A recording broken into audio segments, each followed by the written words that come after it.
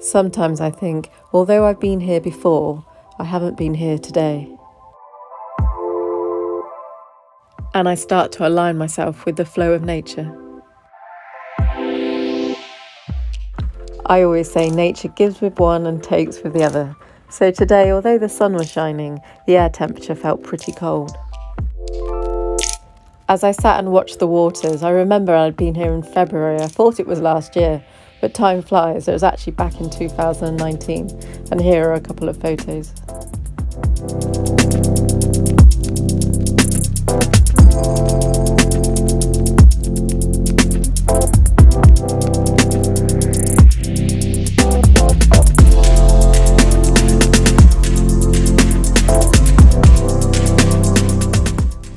So the cold temperatures and the wind made it a whole lot colder.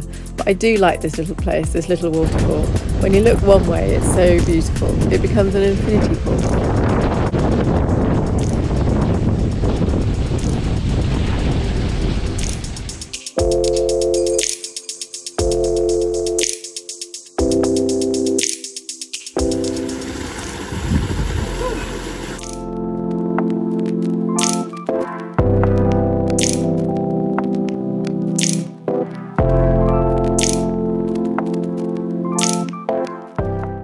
It really was a cold dip. My hair was starting to freeze and it was really cold to touch the rocks.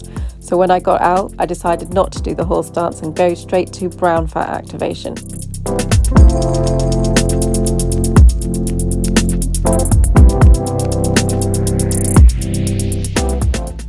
So this is breath work using your intercostal muscles and the power of visualization and using my cardiovascular system to benefit me through vasoconstriction, vasodilation. I don't often use this to be fair. It's such a powerful breath work that I only use it when I'm feeling really, really cold.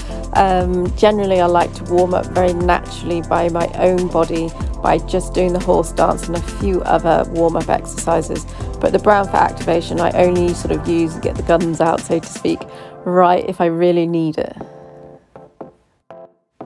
visualization and intercostal muscles are very, very powerful.